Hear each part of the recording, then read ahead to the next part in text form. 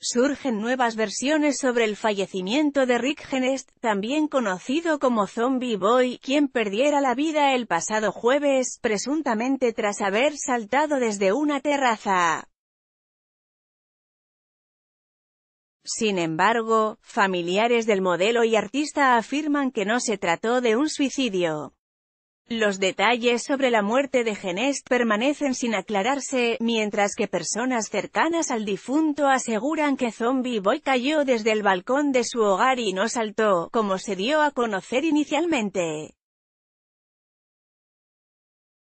La novia de Genest agregó que el modelo salió a la terraza un momento para fumar y fue ella la que corrió a ayudarle luego de que notara que demoraba en entrar y tras salir a buscarlo, lo viera tendido en el suelo.